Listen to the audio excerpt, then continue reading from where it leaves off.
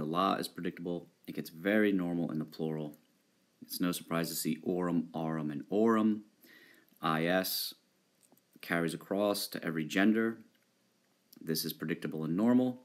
And again, the is is the same for the masculine, the feminine, and the neuter.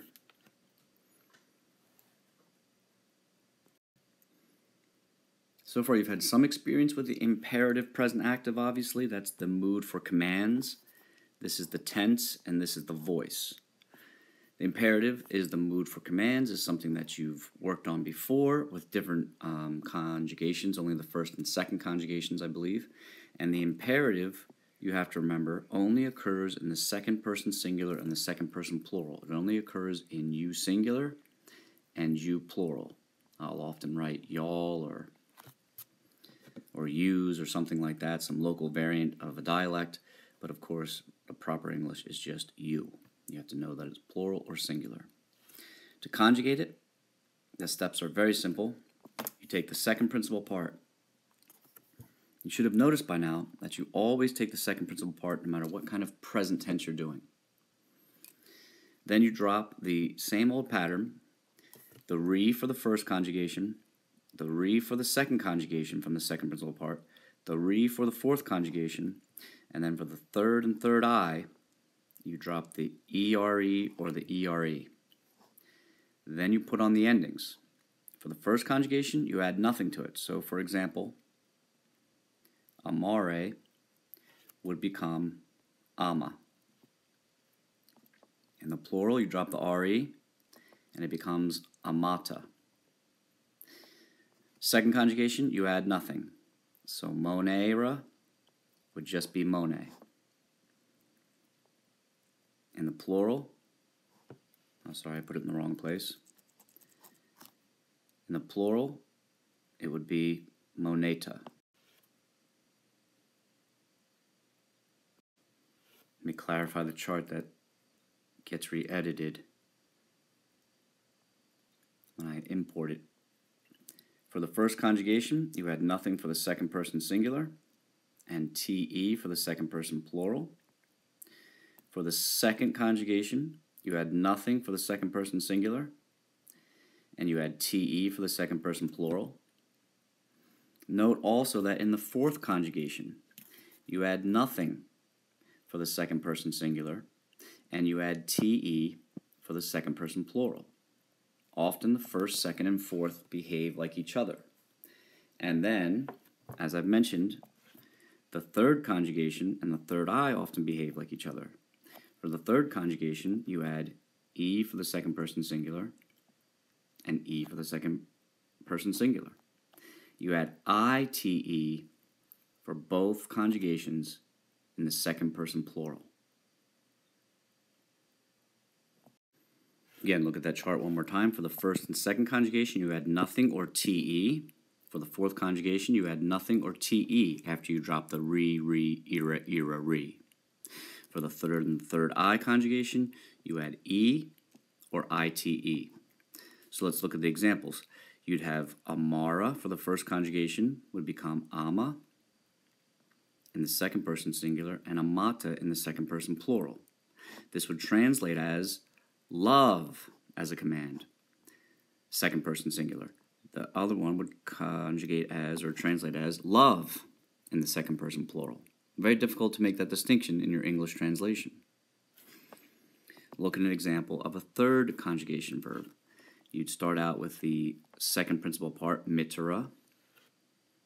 You would drop the ERE because it's a third conjugation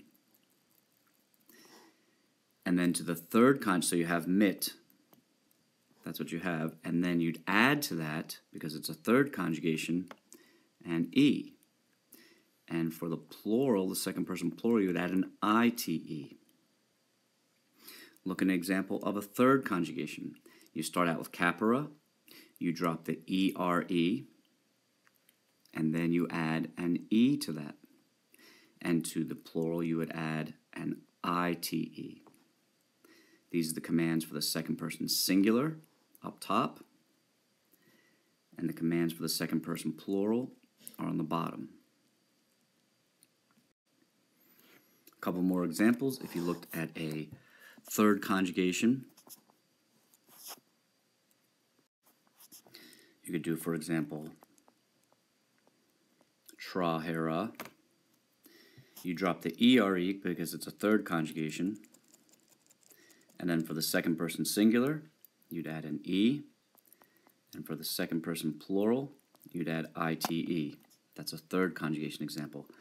Third I, if you have incipere, you would drop the ere. You'd add the e for the second person singular. For the second person plural, you add ite. And for a fourth conjugation, if you had audire, you'd simply drop the re, then add te for the second person singular, and add sorry, don't add te for the second person singular. You'd add nothing for the uh, second person singular in a fourth conjugation, and then for the second person plural, you would add te. So they have some things in common. The second person plural end in te for third, third I, and fourth. All the second persons plural end in te. It's just a matter of how you form them. And then the second person singulars, at least for the third and third I, have something in common, as they normally do. And just to show you one more time, uh, first and second conjugation, if you had optare, you drop the re for that. Add nothing for the second person singular. And for the second person plural, you'd add te. Just like all the other conjugations, end in te. Finally, for the second conjugation, you would have monere. You drop the er,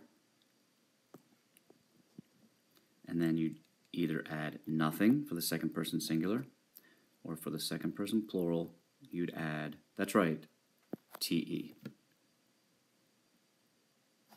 You drop this, you take the second principal part in each case, you drop the re, the re, the ere, the ere, and the re again.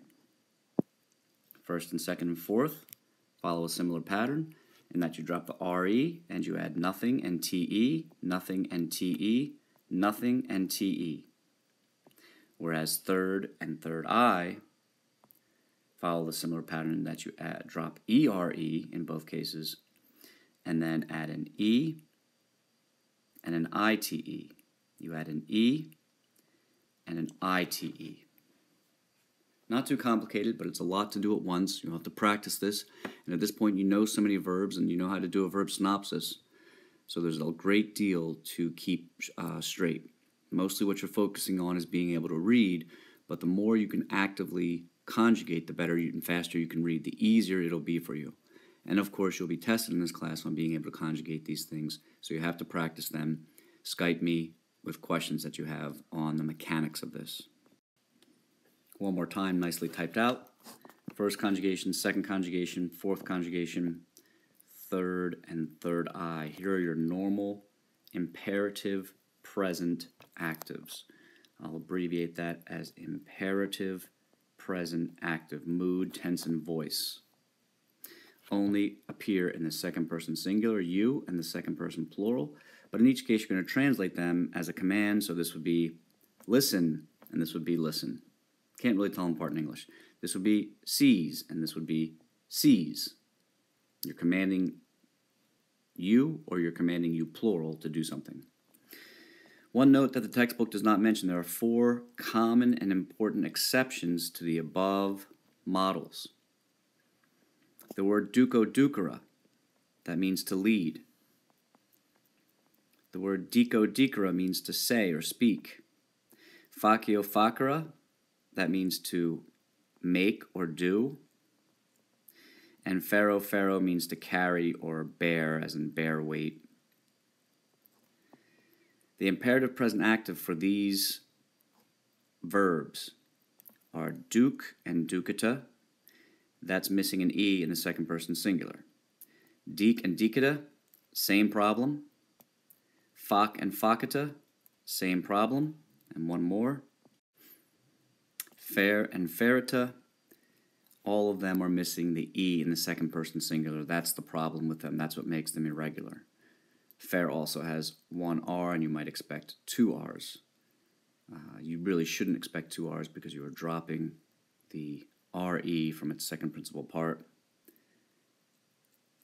So there's a typo there, sorry. FER, drop the RE, and then add the ITE.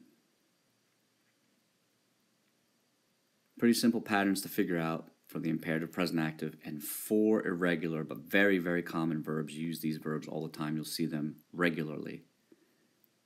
And that's the end of the lesson. Pretty short one. Skype me with any issues or problems.